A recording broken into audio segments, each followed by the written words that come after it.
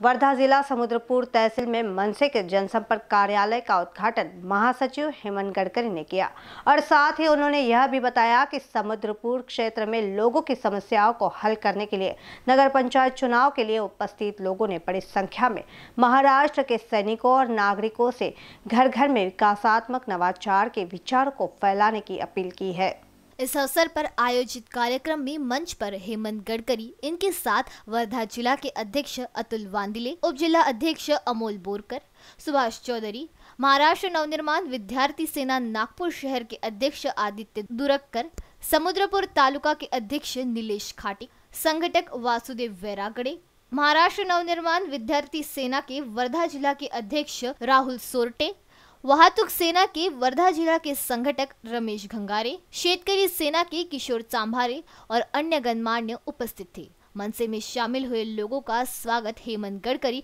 और अतुल वातिली ने किया और समुद्र पर क्षेत्र में लोगों की समस्याओं को हल करने के लिए नगर पंचायत चुनाव के लिए उपस्थित लोगों ने बड़ी संख्या में महाराष्ट्र के सैनिकों और नागरिकों से घर घर में विकासात्मक नवाचार के विचार को फैलाने की अपील की।